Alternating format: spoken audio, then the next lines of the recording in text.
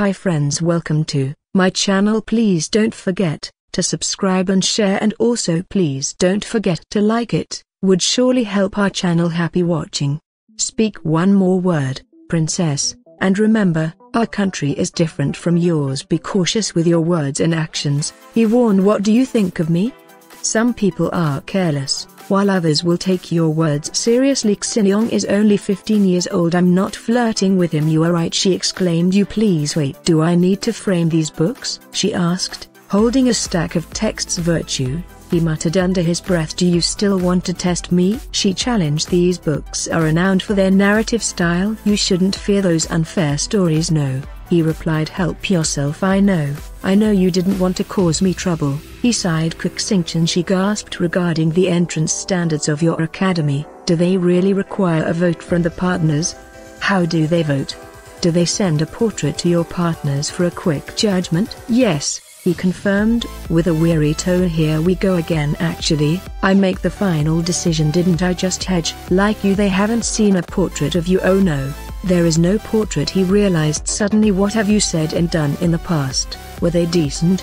It has nothing to do with the academy she defended Lord, that is a decent academy he shouted. Oh, decent he replied, calming down I promise that you are the only person with whom I've done all the indecent things I don't care, she retorted. Oh you really cared at first he remembered. Wait at first in Xiaozu kingdom, we used this as a token of affection. Lock the people you like and it's done. Each lock has only one key. I know what I forgot. I'd rather forget it. Xinqing owns thousands of anklets. It's really not noteworthy she concluded with a sigh.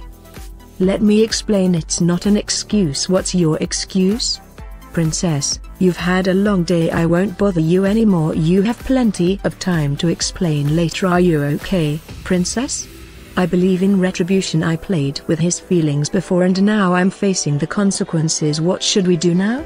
I think I should make the first move I must not get used to this I thought he wanted to be responsible for me but he wanted me to be responsible for him why does he think that way? A powerful man like Lord Xiao can't accept being teased by you. Why don't you let him tease you once? That's too hard then go to plan B princess, you're not married, and you said you only had a romantic relationship with Lord Xiao oh, why not try to make amends? Yes describe your feelings for him back then. Sincerely and emotionally talk about how sad and lonely you were after he left and how much you miss him. Lord Xiao's bad impression of you is mostly based on rumors Yanluan Academy has been misunderstood, and you don't admit it it was him who listened to others and left you. It's his fault. Stand firm, take the high ground, and complain about him being wrong. Lord Xiao wanted you to explain? Do it this way. Say you've moved on and hope he puts national affairs first since you've already offended him once. Maybe it's worth taking more drastic measures to reverse the situation. There is some truth in that, but wouldn't that make things worse?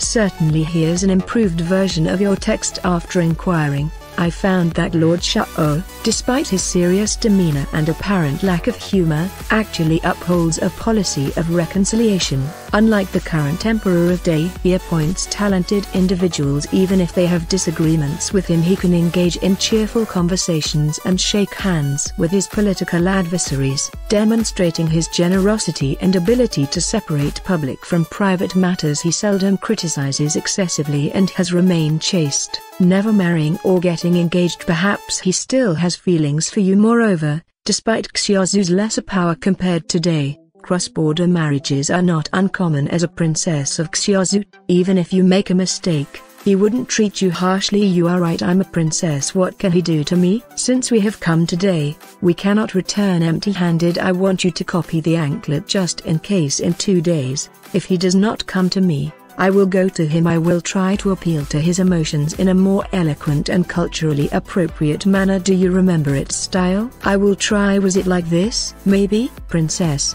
are you sure? Well, I think it was a regular style I purchased that anklet on a whim from a roadside store alright, princess, were there any other actions or incidents that might have bothered him at that time? I guess not I suspect that plan B may not work. Come on I must be brave he wouldn't easily agree to trade matters between the two countries, and he might obstruct me I can't escape it, you know I will have a sincere conversation with him ensuring that he doesn't hold a grudge over past events. Wait for my good news. Witness how I endeavor to regain his favor again. Is Lord Shao oh, really a magnanimous man? Princess, why do you give up so soon? Your kindness has been a constant source of solace for me in recent days. Despite the absence of tasks, my mind has been far from idle inspired by my thoughts. I drafted a proposal to highlight the benefits of establishing trade between our countries. Xiaozu may be small, but our people are affluent and ardently follow the fashion trends of day, wielding considerable purchasing power conversely. Day often faces shortages of medicinal herbs and leather goods driving prices sky high. Xiaozu could efficiently bridge this gap however, my attempts to convey this have been met with indifference after days of contemplation, I have summoned the courage to speak to you, to unravel the past and clear the air when we first met in Luking. I intended to recruit you as a teacher for our academy. The noble ladies in Xiaozu's capital are often restless, struggling to focus on their studies and frequently entangled in unnecessary conflicts. I thought having handsome male teachers might encourage them to be more dedicated but as time passed, my feelings evolved. I didn't just want you as a teacher I wanted you as my boyfriend. Initially drawn by your appearance, I was soon captivated by your intelligence. My words, then and now, were meant solely for you.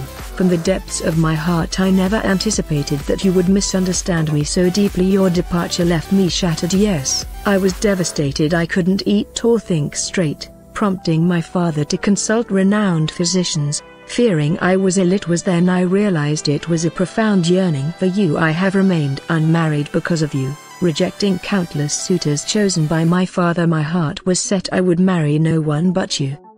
And now, I must ask if I were to propose marriage, would you accept without hesitation? It may seem hasty, but my feelings are genuine could you see us together, Lord Shao? Is it possible for us to unite not just in trade, but in life?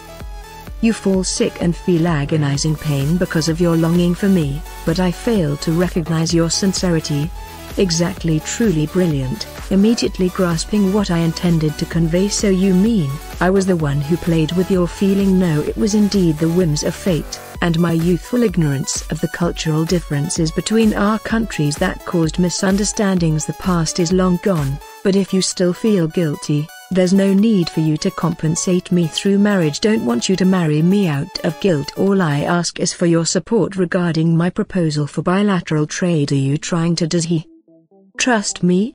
Lay the victim? You had abandoned me, now you question my love for you? You speak of sincere love for me, and yet you dismiss it so casually?